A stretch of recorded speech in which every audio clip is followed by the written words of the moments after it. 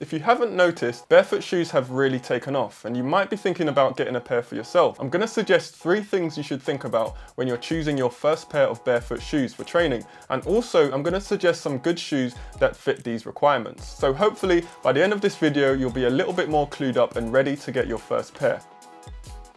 I'll be focusing on barefoot shoes for working out. I know there are a lot of options out there for barefoot or minimalist shoes from different brands, but not all of their features are useful to someone who wants a pair to use as a shoe to work out in. The idea of barefoot shoes is simple, to cut down on the space between you and the ground, giving you a more natural or barefoot feeling when you walk. These shoes aren't going to have the same level of support as a traditional shoe might have. Things like padded arch support aren't going to be a feature. Barefoot shoes can challenge and encourage you to use and strengthen muscles in your feet and ankles that have other otherwise become lazy over the years. Weak muscles in this area can cause your feet to pretty much collapse and for many people this leads to misalignments in other areas of the body like the knees and the hips. Many people don't even realize that the shoes that they're wearing could be contributing to misalignments and pains that they're experiencing in other parts of their body. This is why I try to mix up my footwear. I do have slightly flat feet myself, it's a hard thing to fix, but being more mindful of the shoes you choose to wear, the way you walk and train can really help the situation. It really is that simple. But when it comes to buying a pair of barefoot shoes, in order to get the most out of them and value for money, there are a few things that you should consider, especially if you're going to be using them for a workout shoe. Let's get started. Every shoe mentioned in this video will be in the description via an affiliate link, so please do consider using them if you want further info. The first thing you should look for is flexibility. The barefoot or minimalist category of shoe doesn't guarantee that the shoe itself will have good flexibility. So when you're looking at buying a shoe, look for that as a priority. Feel for its flexibility, bend and splay your toes out. A lack of flexibility in the shoe will really show itself when you walk for longer periods of time. Do bear in mind that some materials do have a break-in period, so they do get more flexible over time, but that still doesn't mean that you should settle for a shoe that just doesn't allow your foot space or the ability to flex comfortably. I can't stress that enough. Some shoes are just not as good as others in this area. For example, this pair that I'm wearing currently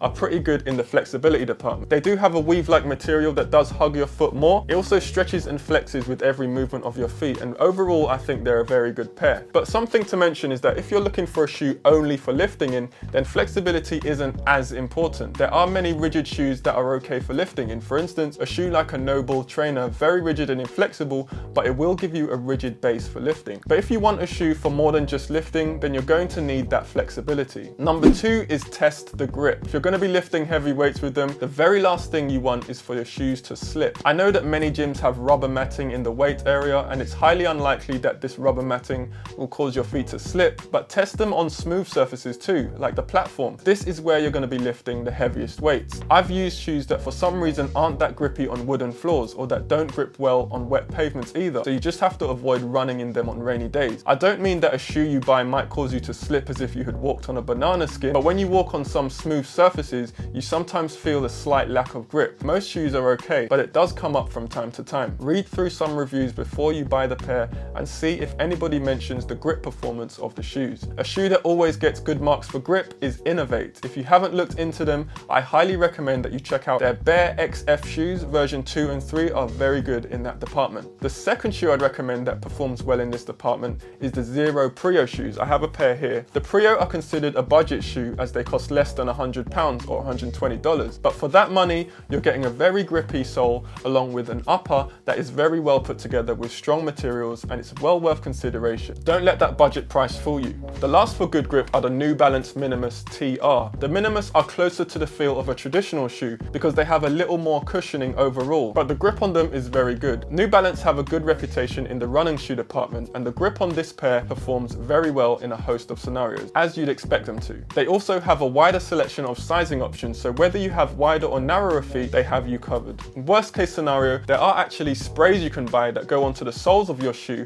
and some people have even put rubber tape on the soles of their shoes. These can be effective if the shoes you buy have really bad grip on wood or smooth flooring, or if the grip on your soles is worn out in certain areas, but obviously it's much better not to have to do that. Number three is how much space do they give you? The third most important thing that I look for in a barefoot shoe for training is the amount of space they have to splay your toes out. Being able to splay splay my toes out makes a big difference, especially when I get into the heavier lifts. As I've said before, properly being able to splay your toes out during lifts can give you much better balance and stability overall, and for me it's a massive deal breaker. Even though I don't have wide feet, I'm not really keen on narrow shoes, they just don't work for me. I need room in the toe box to be able to splay my toes out. Luckily, toe box space is something that a lot, not all, but a lot of barefoot shoes do seem to really emphasize because for a true barefoot experience, a shoe is going to have to have extra room in the toe area. I don't think that any barefoot shoe that I've tried has felt super narrow or restricting, but there are some out there like the Merrell Vapor Glove that is known to have a very narrow fit, even though it's labeled as a barefoot shoe. But also you might try a pair like these Vivos and you might not like the feeling of space they give you in the toe area. When I first tried them on, I was concerned that they had too much room in the toe area, but after I worked out in them and I ran in them, I realized that the extra space was actually working in my favor. But it is very important that you try on a few pairs before you settle on one pair. I'll say this as well, if you're not used to training in barefoot shoes, it is possible that you might feel a bit sore after your first time wearing them. I remember the very first time I did jump rope in a pair and my feet felt sore for a couple days after. It's mainly due to the fact that these shoes kind of wake up muscles in your foot that otherwise haven't been encouraged to work. It's a small adjustment period and you do get used to it after a few days. Also, when you're walking on roads, if it's a barefoot shoe that has a thinner sole and minimal amounts of cushioning, you might be surprised at how you feel every crevice and bump in the road. I became more aware of these cobbled London streets when I started wearing these shoes myself. You might just have to ease yourself into them a little bit. With that being said, if this concerns you and you prefer a shoe that gives you the barefoot minimalist feeling without the thin sole, then the New Balance Minimus TR